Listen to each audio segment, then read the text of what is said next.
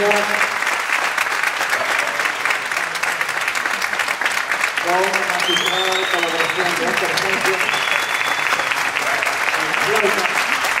hemos recibido y tomado este tema.